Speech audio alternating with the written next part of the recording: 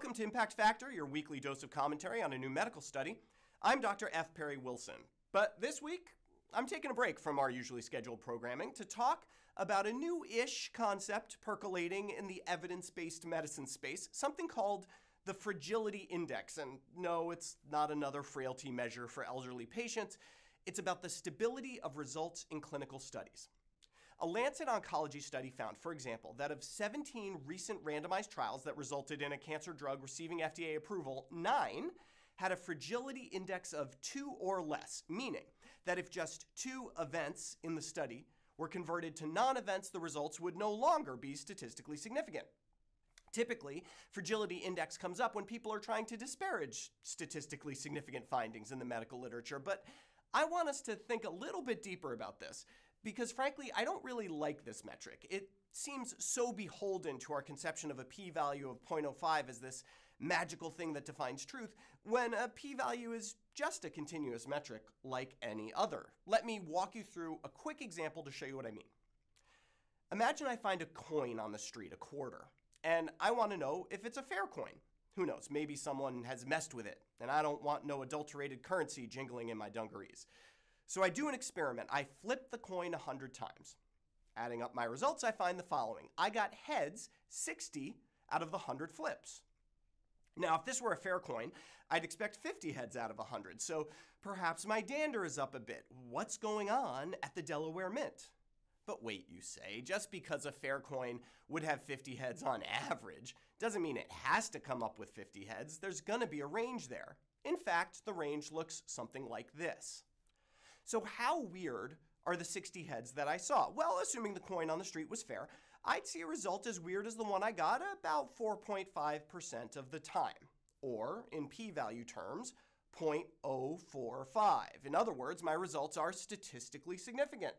By our conventional definition, I will be calling my local numismatist and making a complaint. But wait, you say, these results are fragile. If just one of those 60 heads had actually come up tails, I'd have 59 heads, and my p value would be 0.07. That changes everything. This is not statistically significant. Pitchforks down.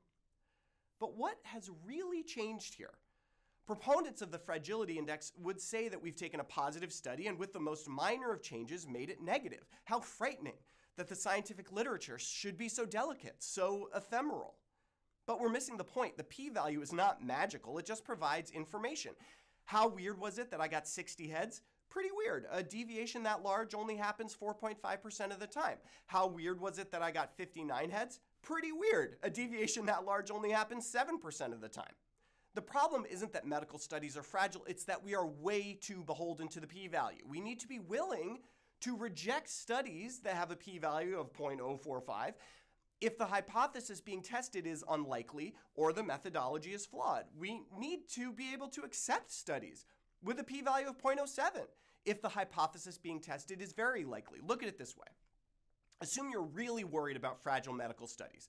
What are the potential solutions? First, we could lower the p value threshold for statistical significance. There's an ongoing debate about that. Of course, there will be fragile studies at any threshold, right? If the p value threshold were 0.01, people might complain that studies are fragile because small changes in outcomes will change the p value from 0.009 to 0.011. Or maybe you think we should just do bigger studies, but realize here that if the effect size is the same, doing a larger study will just lower the p value. And if you do a really large study and get a barely significant p value, you're probably in the realm of a statistically significant finding that doesn't have much clinical impact. We see so called fragile studies because studies are designed with the p value threshold of 0.05 in mind, because studies are expensive and expose people to potential risk. If you're spending $50,000 per patient to enroll a clinical trial of a new cancer drug, and all you need is a p value of less than 0.05 to get FDA approval, well, why would you enroll more than what you need? We are changing the rules after the match is over. The real solution here is to forget about 0.05 and interpret p values in the context of the underlying hypothesis of the study. Take my quarter. Are my 60 out of 100 heads really going to convince you that it's a biased coin? That someone actually shaved part of it or, or weighted it in a weird way? Probably not. I just found the thing on the street after all. The hypothesis being tested that it is a biased coin was very unlikely. So we shouldn't see those 60 heads as evidence that the coin is weird. We should see it as a weird fluke. Use the data to update your prior probabilities.